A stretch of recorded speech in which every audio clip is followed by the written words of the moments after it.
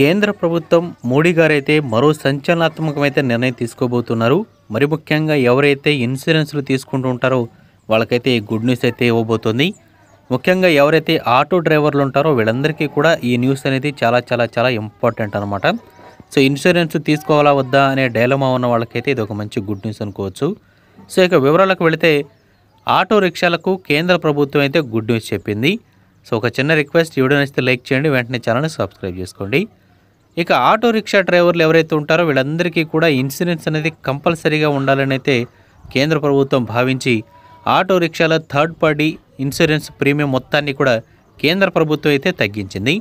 Motor vehicle rules రెండు వేల ఇరవై రెండులో సవరణలు అయితే చేస్తూ నోటిఫికేషన్ అయితే జారీ చేసింది.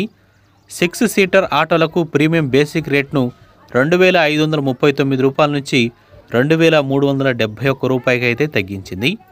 ఇక ఈ రిక్షాల బేసిక్ థర్డ్ పార్టీ ప్రీమియంను పదహారు వందల నలభై ఎనిమిది రూపాయల నుంచి పదిహేను వందల ముప్పై తొమ్మిది రూపాయలకైతే తగ్గించడం జరిగింది. ఇవి తక్షణమే అమల్లోకి వస్తాయని తెలిపింది.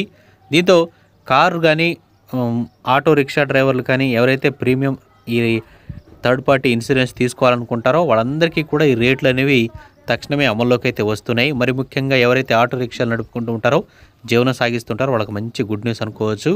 ఇప్పటి వరకు మీకున్న ప్రీమియం బేసిక్ రెండు వేల ఐదు వందల నలభై రూపాయల నుంచి రెండు వేల మూడు వందల రూపాయలకే రావడం జరుగుతుంది. అంటే దాదాపుగా మీకు రెండు వందల రూపాయల వరకు బెనిఫిట్ అయితే ఇచ్చింది ఈ రాష్ట్ర ప్రభుత్వం కేంద్ర ప్రభుత్వం.